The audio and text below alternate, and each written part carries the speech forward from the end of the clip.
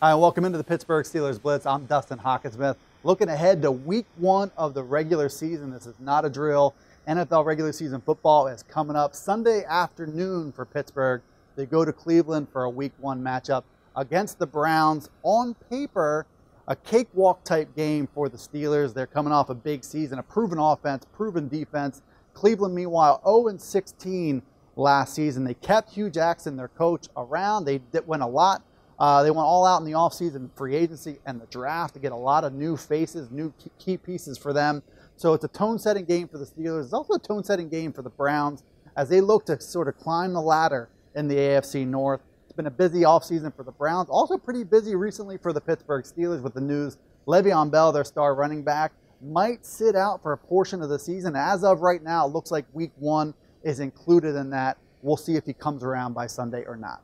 All right, Brown Steelers scheduled for a 1 p.m. Eastern Time kickoff Sunday in Cleveland. It's worth noting the weather forecast could get a little dicey on Sunday afternoon. Temperatures could dip into the 60s with a chance of rain. Lake Erie could give the Browns a little assist in that matchup. Steelers, as of midweek, a four point favorite going into the game. All right, as for what's different with both of these teams in 2018 versus last year, I touched on it earlier. Cleveland has improved.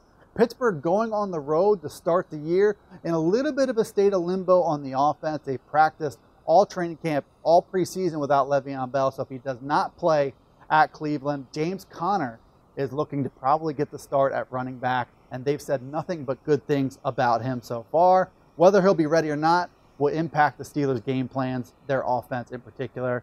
Tyrod Taylor will start at quarterback for the Browns. It should be only a matter of time before Baker Mayfield, their talented rookie, starts to take over that job. For now, Taylor, the veteran, comes in. Jarvis Landry was brought in as a weapon in free agency.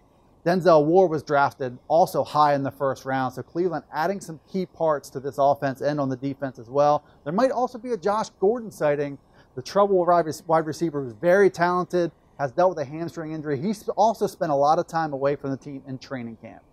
All right, add up all these ingredients. It could be a really interesting matchup in the AFC North to start the 2018 season. Steelers, Browns, Sunday in Cleveland. Jacob Klinger joins us now to tell us what he'll be watching for in this match.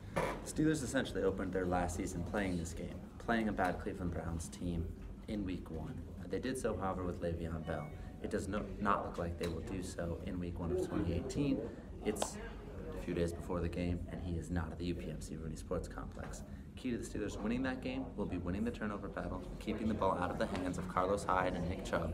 We've all seen a Todd Haley offense manage or mismanage a clock as he did with the Pittsburgh Steelers from time to time. However, if Ben Roethlisberger loses track of the ball himself, I think the Steelers can lose this game, and I think they will. All right, thank you, Jacob. My two cents here. I've got the Steelers winning at 30 to 24. We'll call it a narrow cover if the Steelers do go off the board as a four-point favorite in this game. We'll see what happens. Enjoy the game and be sure to check back in with us on your Pittsburgh Steelers Blitz.